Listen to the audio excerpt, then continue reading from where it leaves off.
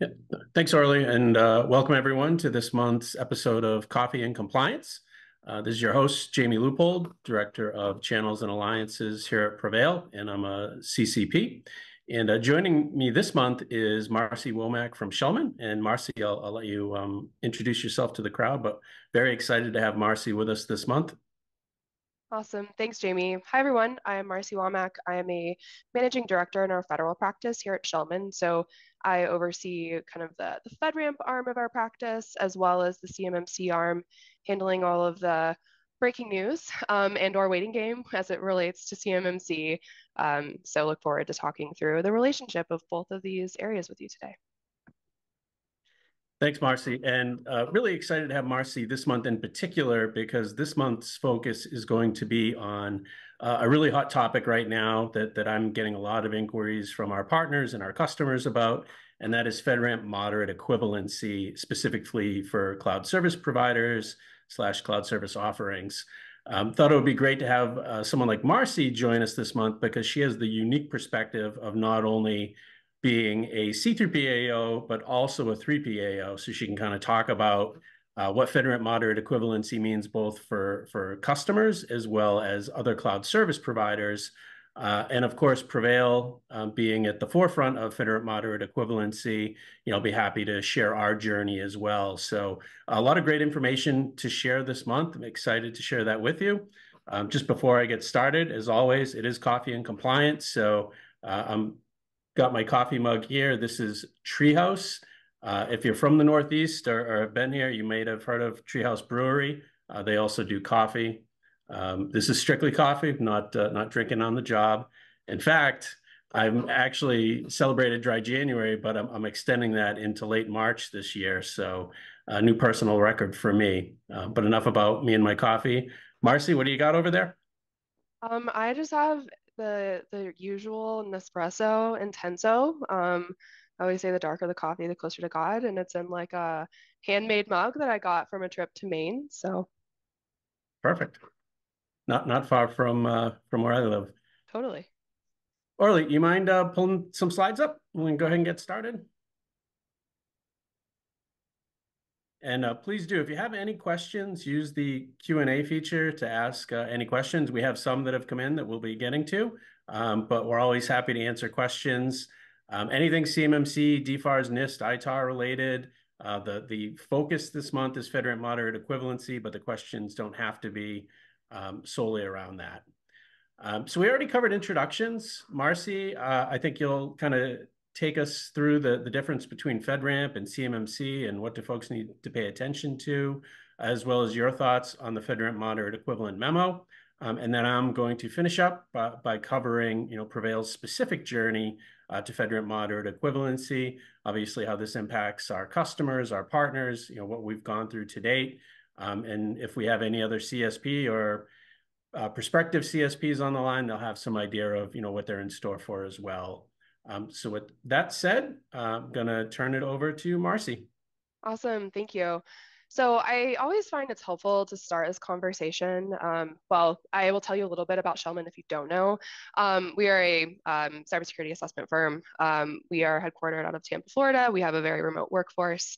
Um, we specialize in doing um, attestation work, compliance assessments, gap assessments across uh, CMMC, FedRAMP, anything related to, to NIST 853, 171, and then as well as SOC, HITRUST, HIPAA, PCI, ISO, uh, the list goes on. So you can uh, reach, research us if, if you're unfamiliar with us. And if we go to the next slide, Orly, I'll kind of focus um, kind of just a little bit more about us there. Um, so kind of how we came to be involved in CMMC is directly related to our FedRAMP experience. So uh, we are the number one provider of FedRAMP assessments on the FedRAMP marketplace. Um, we were one of the first authorized C3 PAOs. Um, we were the fifth and we were the first assessment firm that was authorized. So that's our primary focus. Um, we've done a ton of NIST standard 171 assessments, and then we've also participated in um, many of the joint surveillance assessments that have happened for DIB organizations, kind of in that like stand up of CMMC and kind of that ramp up there. So obviously covering just a few of our key offerings, all related to uh, pending certification assessment once we're actually authorized to do that by um, the final rule, as well as the kind of go ahead from the cyber AB, um, as well as, of course, uh, various 171 gap assessments, compliance assessments related to CMMC, um, the FedRAMP side, and anything that's kind of federal adjacent, um, just covering that. Um, so yeah, that's a little bit about Schelman. And from there, I'm just going to kind of jump into uh, some of the distinctions. Marci, just between... real quick, just for our audience, I, I think just a, a, point of emphasis that, that I think is important to mention um, is that Schelman's a bit unique in that you were an assessment firm that was doing a lot of assessment work and, and are now transitioning to CMMC, whereas a lot of C3PAOs, CMMC is, is kind of their, their first foray into assessing, and they're typically consultants, or we've seen some that are MSPs.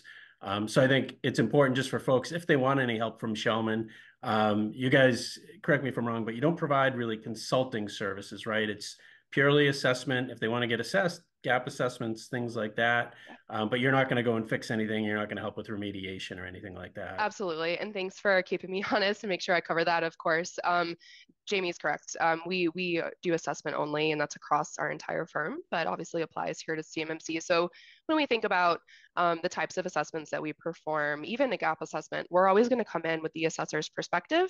Um, we're going to write um, detailed findings so you can derive what makes sense to kind of remediate that. We actually wouldn't give you any direct recommendations. Um, we wouldn't actually, we wouldn't certainly help you with any of the remediation efforts there. You would, you know, want to partner with either go internal with the expertise that you all have, or partner with an external um, advisory firm for for any of that. So. Great. Awesome. Um, are we ready to kind of jump into the? Yeah. Okay, cool. So talk about the topic um, of the day. Yeah, I know, right? Um, I, I I talk about this a lot, obviously, but um, you know, FedRAMP and CMMC kind of get often thrown into the conversation together. And I, I, think it's helpful to understand relationship between the two and also some distinct differences. So FedRAMP is focused on cloud service providers. And when we think about CMMC um, and where it derived from, which is the State 171, as well as the directives in DFAR 7012, um, DFAR 7012 is, is very clear on saying, hey, if you're cloud, you need to go over here and do FedRAMP. But if you're not, then you need to focus on 171. And so CMMC follows that same type of, of divergence. And so, um, you know, FedRAMP is specific to a cloud service offering. And um, that is defined in a NIST document. It's NIST 800-145. Um, so if you're not familiar with that, recommend that you, you take a look. Um, and then of course, there are many nuances to, to FedRAMP, but how it relates to CMMC is that you know, an organization that does have a CMMC requirement or does want to go through that certification process, there are now requirements saying if you're using a cloud service provider um, in you know the operation and the handling of this contractor CUI, then that cloud service provider needs to be FedRAMP authorized or FedRAMP equivalent. And that phrasing actually came from DFAR 7012, and it's existed since about 2016, 2017, um, but we've never really had a definition for what equivalency means. And so, with all of the kind of breaking news in the last six to seven weeks um, around equivalency, we finally got a definition for that. And so, um, we'll, I'm sure we'll circle back to some of these kind of like definition type points, but I did want to lay the groundwork um, just on, on some of the differences there.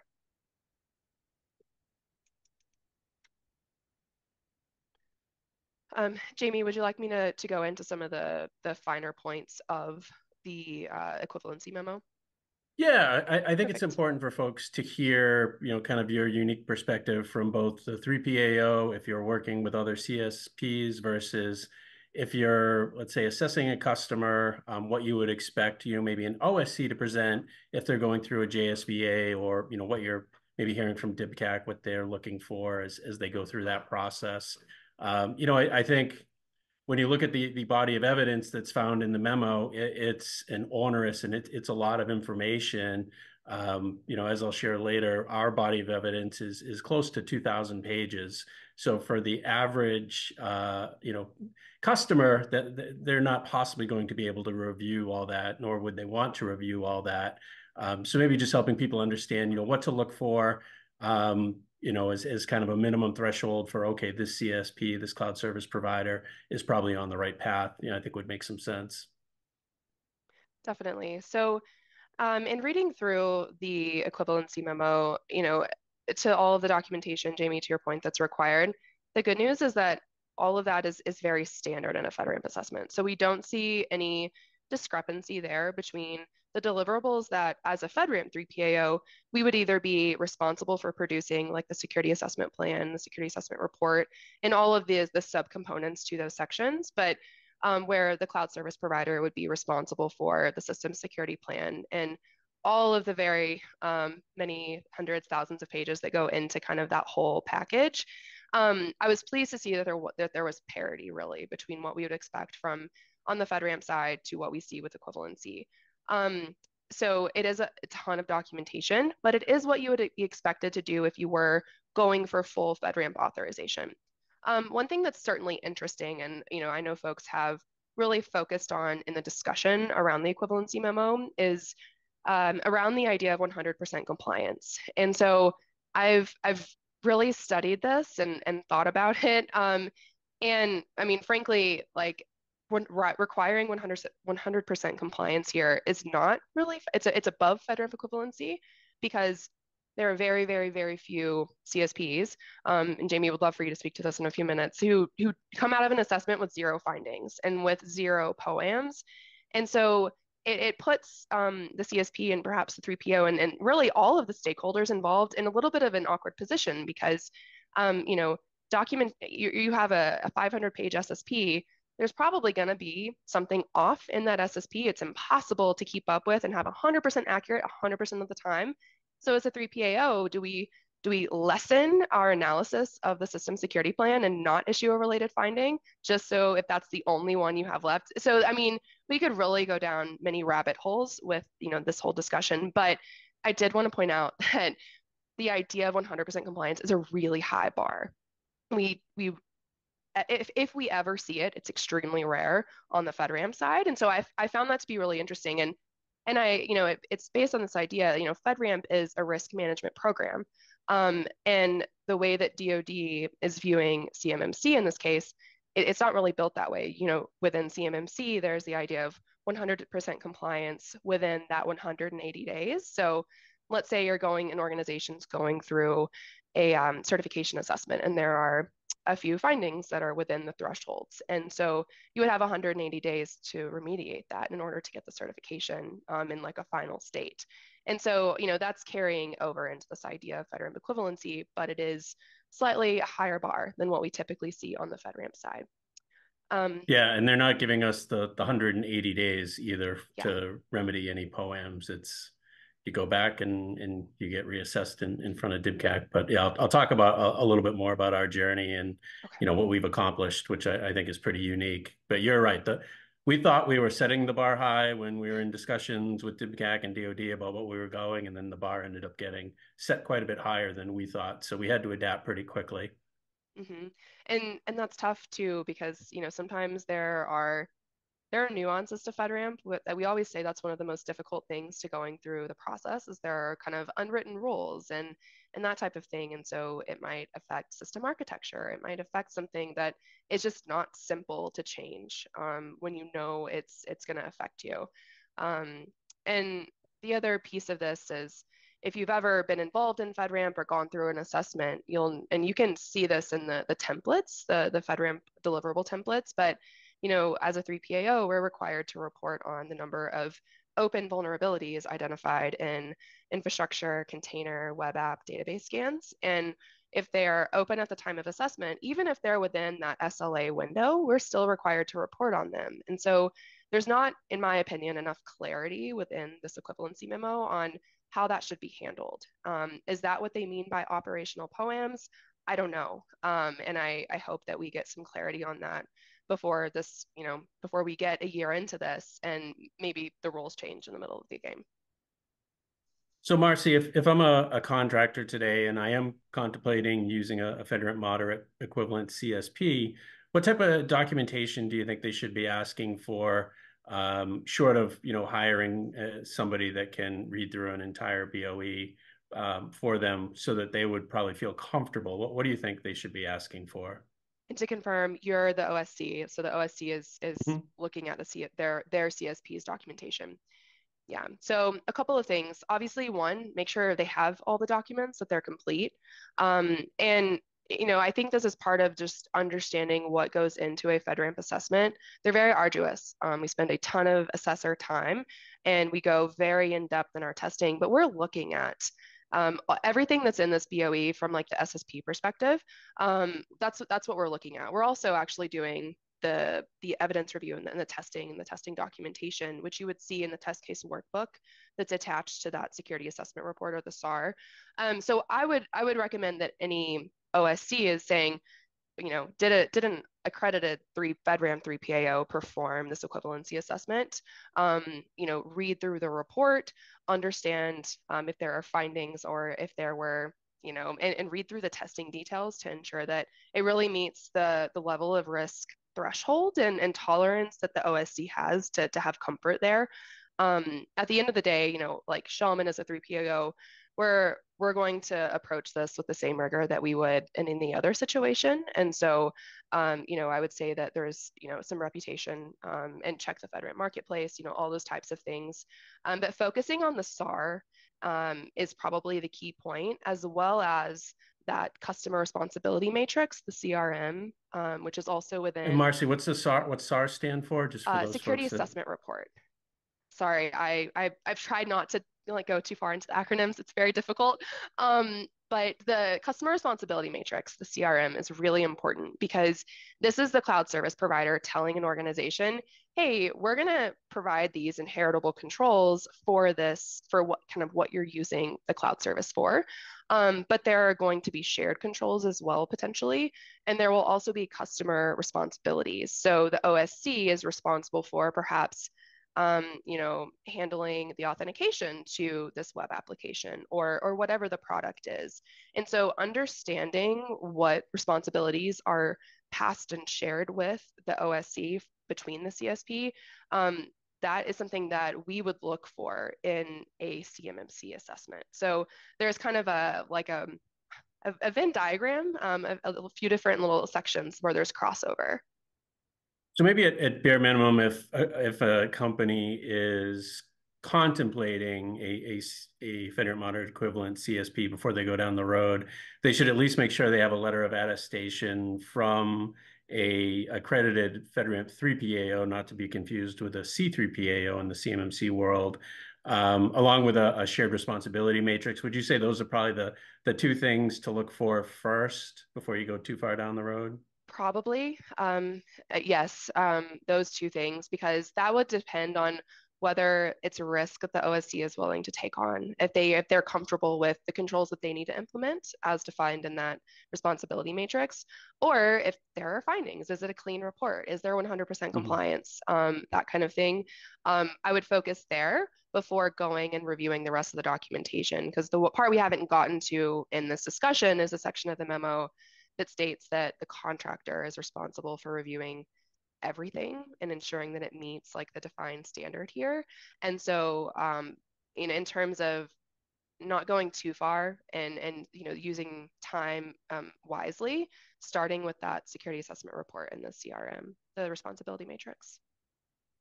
And if the CSP says, "Well, we're you know we're hosted in AWS GovCloud, so we'll just use theirs," or we're in we're in Azure Gov, which I'm sure you hear, uh, what's your response then? It hurts my heart. Wrong, wrong. Um, that is that is the incorrect response. Um, so regardless of you know, it's great that there that an offering is hosted in a FedRAMP authorized platform or infrastructure. Great, because um, you know they're they're going to be able to inherit some controls from that platform or infrastructure, but there are still many, many controls that, that the SaaS or whatever that offering has to implement in the FedRAMP program to, to be FedRAMP equivalent or to obtain authorization. So um, it's helpful, but it has really no bearing on this discussion, like whatsoever. Great. No, thank you. Yeah, thanks for providing that clarity because we do hear that a lot. Mm-hmm. Um, so I think we've, we've covered a fair amount. I know we've got some questions, and, and I oh, did want to um, just kind of highlight PreVeil's um, journey to FedRAMP moderate equivalency. We, have kind of been at the, the forefront of this, working closely with DoD and, and DIBCAC for you know over a year now. Um, we've really been pushing them to get this defined, and they've even mentioned that in, in some discussions with us. Um, Orly, would you mind just bringing the, the slide deck back up? And I, I think I'll cover that and then we'll, uh, we'll get to some Q&A.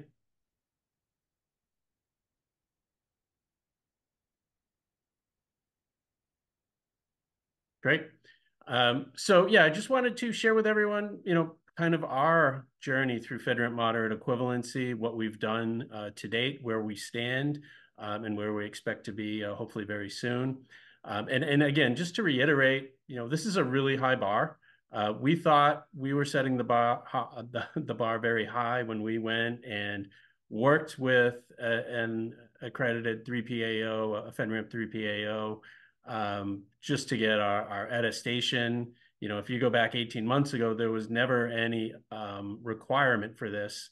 The first definition of FedRAMP moderate equivalency was simply that you had a body of evidence uh, and you had a shared responsibility matrix. In fact, if you reference CMMC, uh, I believe that's still the language that's in there. So the memo does contradict, um, you know, the, the CMMC requirements um, in some regards. But regardless, we are moving forward, assuming that the memo you know, is what we are held against.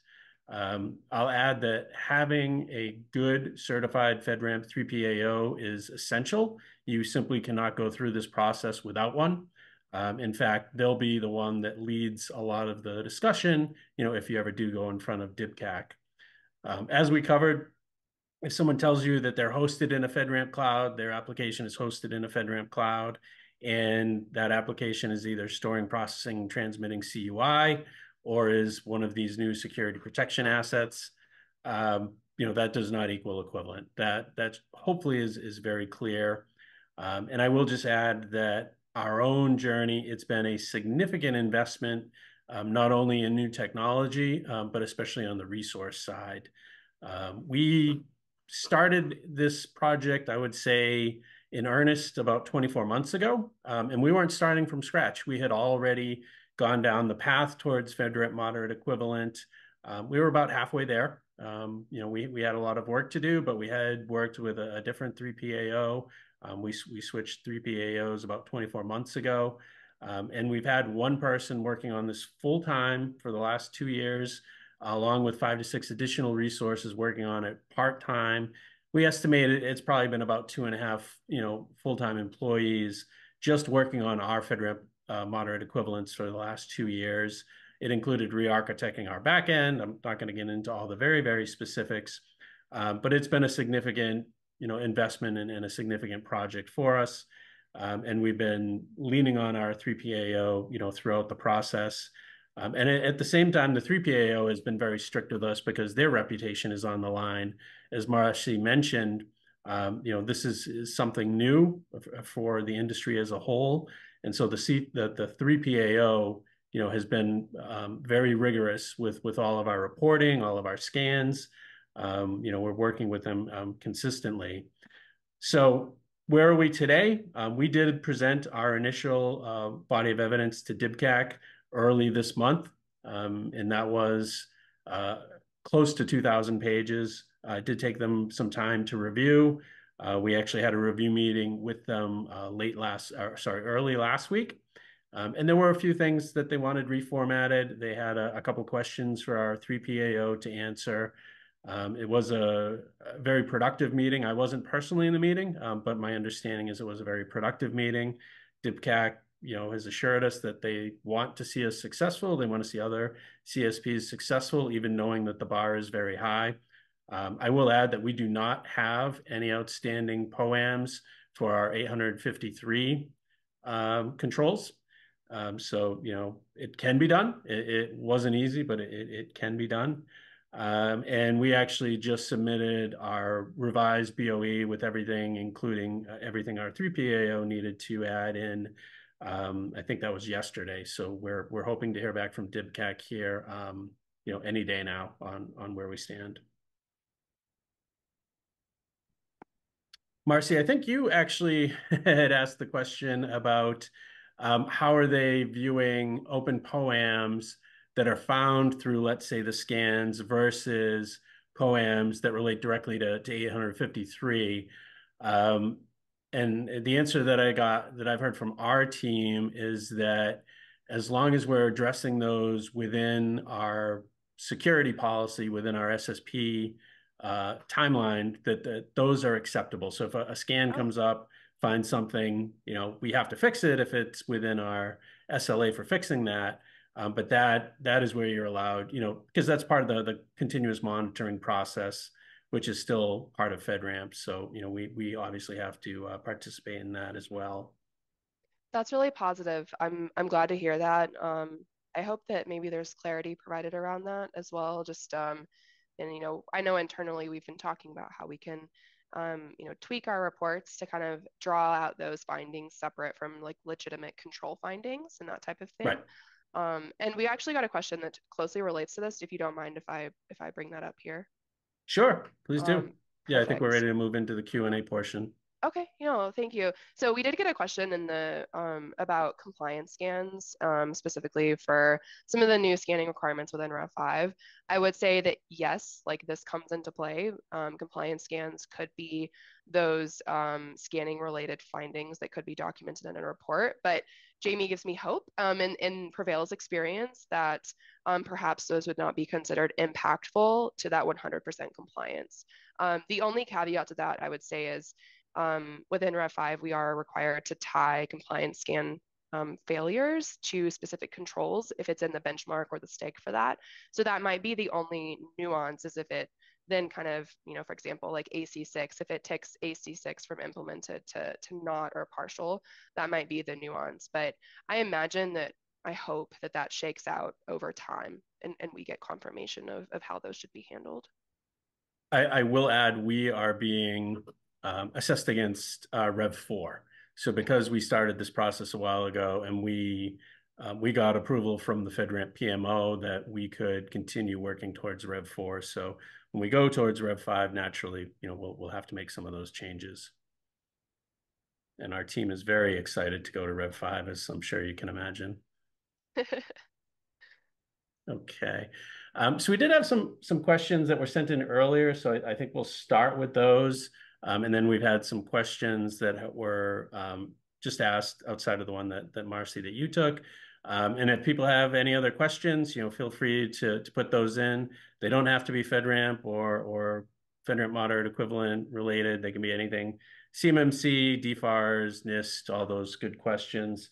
Um, but I think the first one, um, I'll probably take this, Marci, just because be less um, you know, we don't want to put you on the spot, but um, one of the questions that came in earlier was, is it better to become compliant through a third party or in-house? Um, since you have a little bit of a, a, vested interest in this, I'll answer this from our perspective, what we're telling customers. Um, so I think, you know, there's a couple things to, to unpack here. First of all, um, become compliant through third party or in-house. I assume if you're talking about getting ready for compliance, because you can't self-certify. You can self-attest to compliance, but you cannot self-certify yourself to be compliant. Um, so if you did want to go through the certification process, you would have to work with a firm um, such as Marci's. You would have to work with a, a C3PAO. Um, we're talking assuming CMMC level two, um, because there is no certification for level one. You do self-assess to level one.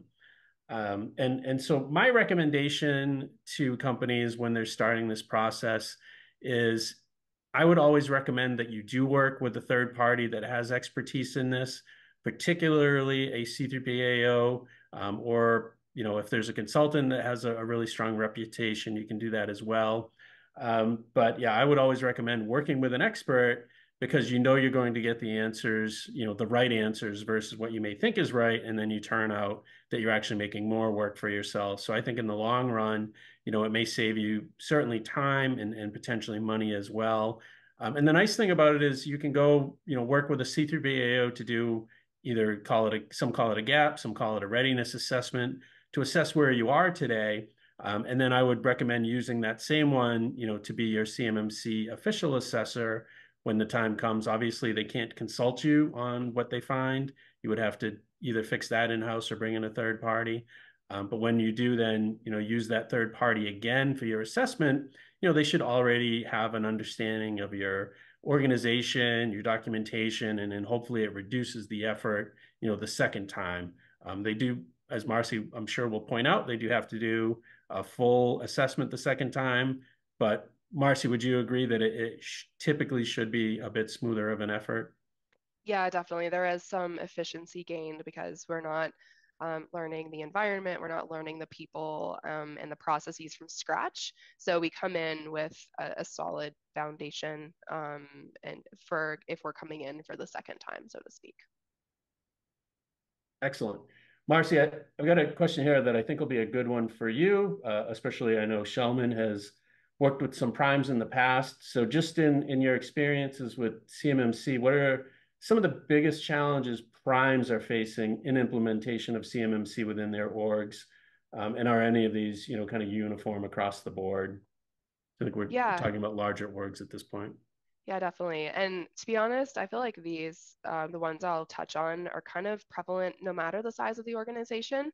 They're just difficult technical controls to implement. Um, and sometimes you feel like you might be running in circles because you're reliant on another standard. So, um, and and I we've heard um, the DCMA um, folks and assessors talk about this when they've presented previously, but um, two kind of control areas. One is, is with encryption. So um, specifically the requirement to use FIPS validated cryptography for data at rest, data in transit, um, remote access. So that it, it's just it's a high bar um, depending on the amount of components in your environment that are you know handling CUI in that capacity. Um, and, and, FIPS is always that certification um, is kind of la- or validation is lagging behind. So vendors who, let's say, let's take a firewall for example, who are sending that firewall and that crypto module within that firewall through the uh, validation process at NIST to get FIPS 140-2 or dash -3 validated, um, it takes time. They have to go through laboratory testing, um, and then maybe there's something that comes out that um, that one historical. Uh, we had a huge transition back in 2022 related to that. So FIPS kind of feels like you're running in circles. Um, and so that is always a very difficult one to meet to meet. And the bigger the environment or the mo more complex the environment, the harder it is because the more components we're having to evaluate against that specific requirement. Um, another area is just strictly with multi-factor authentication um, and thinking about MFA across all of the different access paths. So um, how, um, let's say it's an, you know, an enclave or even uh, an organization's full kind of IT infrastructure, maybe that's the full scope. Um, just thinking about, you know, the employees, um, how, how many different ways can they access the systems? Um, if you're serving anything to your customer, can, can they access it via some sort of you know user interface. Um, so that any of the access controls as well as the identi- identity controls those apply across all of the different access paths and that just gets more difficult with multi-factor authentication. But what if the ceo doesn't want to use mfa Marci so sorry you know like you know I, the auditor can deliver the bad news. I always say like we don't make the requirements we just are the messenger on what they are and whether you're meeting them or not. So um you can you can blame the assessor as kind of the bad person in that situation. We hear it though. So i had a, a question um, earlier and and this has also kind of been a hot topic um, can you please clarify the difference between CSP and ESP requirements? I'm assuming this person is asking relative to the, the CMMC ecosystem, because I think that's really where ESP was introduced. Um, my take on it is that, you know, and, and I know there's there's been some discussion back and forth on where does the line when does a, an ESP become a CSP? I, I, think is the line of demarcation that we're all really kind of interested in. Obviously, you know, somebody like a PreVeil, we're clearly a CSP. Um, we have to be treated as such. We need to be FedRAMP moderate equivalent because we store, process, transmit CUI. Um, you know, but I, would love your perspective on this too, Marci, where ESP is such a broad category. It is, it is. And I would say, um, so kind of just drawing the line between the two. A cloud service provider, um, I, I, mentioned the, the federal definition of, of cloud. Um, reference document is NIST 800-145. There are like the tenants of, of cloud. Um, but if you're serving like a an offering, a, a web-based offering, it's a really good way to kind of like think yes or no. Um, if you're providing like a SaaS, anything like that, then you would be considered a cloud service provider in that situation versus um, maybe you're just making parts like you're you're a sub to a prime they're sending you schematics and, and diagrams and such and and you're manufacturing things for them um, that is obviously very different you're not you're not providing any sort of of cloud-based service to them um, and then when it comes to like the actual like assessment um, burden and requirement there obviously for if you're a csp that would be FedRAMP um, and then if you're an external um, service provider that, that's not cloud, um, you would be required to go through CMMC. And Marci, what if it's a managed services provider, managed security service services provider, who let's say manages uh, a cloud-based SIEM or a cloud-based vulnerability management service for their customer? trying to throw you a curveball here. Yeah, I this question, um, I I wasn't rolling my eyes. I was like looking up to think because it's it's complex, and I always get kind of like twisted with the terminology. Um, but if you're a managed service provider, I think about who is actually owning that system. So if um, OSCA has this cloud-based SIEM um, that they're using, and they're using a managed service provider to help them um, manage alerts. They're receiving the alerts and, and triaging. Um, that would just be a managed security. That would that would not be a cloud service because they're not actually providing that SIEM capability. Um, a cloud service provider would be if it's a cloud-based SIEM um, that it would be that that separate entity. Um, now that that provider, the MSP or MSSP in that case, may be involved in OSCA's, you know, CMMC certification because they're helping that OSC perform control activities related to that the AU family, for example. Um, and, and depending on if they're actually storing or processing or transmitting that data within the MSP's organization, then potentially that MSP would require um, or would be would be required to undergo CMMC as well. So it's all about the data. Like where is the data going? Who's owning the data? Who's touching the data? Who's kind of the data? Um, yeah, it's it's all about the data. And and to that point too, it's all about who owns the systems that the data is touching, right? Yes, okay. Absolutely. I think that, that's important. Absolutely. Yeah. Um, okay, I think we got time for maybe one more here. Um, it's a good kind of um, less less technical question, but but I think I do hear this quite a bit as well. Is how do I know if I'm going to be required to become certified if I'm not directly bidding, but customers I provide in this example, Crates do does. Um, will my customer then need need me to be uh, certified? So I think this is maybe you know if I'm a sub to a sub to a, a prime, when do I know if I'm going to need to be certified versus not being certified? And I don't claim to be a contracting contracting expert. Um, what we have seen, however, is that most primes are having this conversation with their subs, um, and you know, CMMC has been kind of in process for some time now, so they've had time to have those conversations or inform. Another another way to think about this is if you have an existing DFARS 7012 clause in your contract, or that's been flowed down to you in any capacity, then you would need you would then be required long term to undergo CMMC. Like that that requirement would would be um, passed down to you. Um, there is like kind of a ramp in period for when CMMC becomes um, that when the when the rule is final and CMMC is real, so to speak, um, it won't be everything all at once. Not all contracts suddenly flip over to having the CMMC requirement.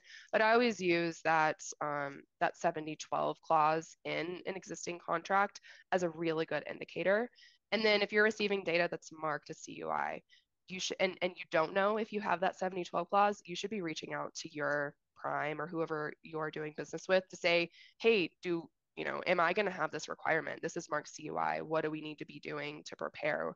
What's going to be the future requirement for for us as a sub?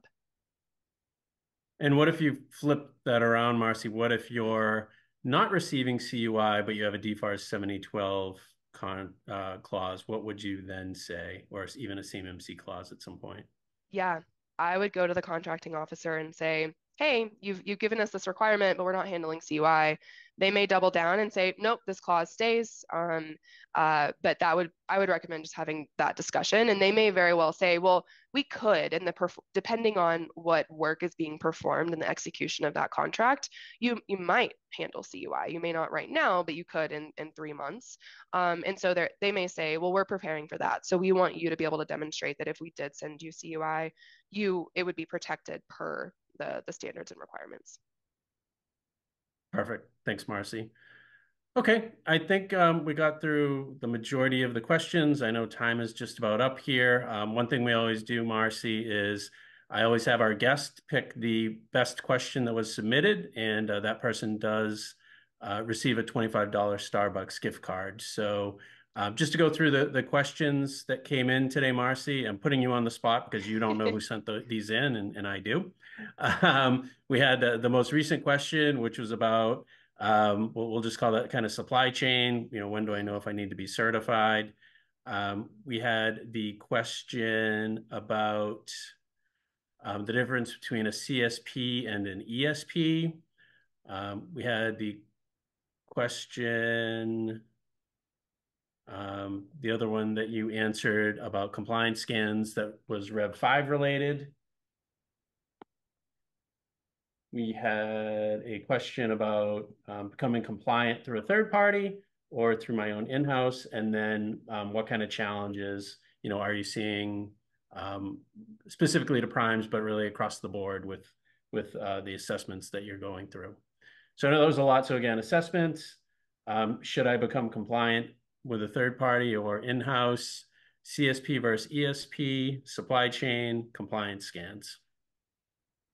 Um, man, this is a tough choice. I feel like I'd have to go for the difference between CSP and ESP because I those waters have been so muddled for so long. Um, and you know, I think they're starting to clear and things are making a bit more sense. So I like that because I feel like there's a, a just a lot of um, uh, additional education that's needed within the entire DIB just to ensure folks are, are on the right path. So I I like that answer, and I will point out I saw recently on on LinkedIn uh, Robert Metzger, who's who's very well known in in the industry. Um, we actually had him on a webinar with us last week. He's he's one of the premier uh, cybersecurity attorneys and, and compliance attorneys uh, in the country. Had a great LinkedIn post specifically about CSPs, ESPs, MSPs, uh, throw in a few more SPs in there, but um, I would highly recommend people go read that, get his interpretation on it. You know, we are still in the open comment period for CMMC, so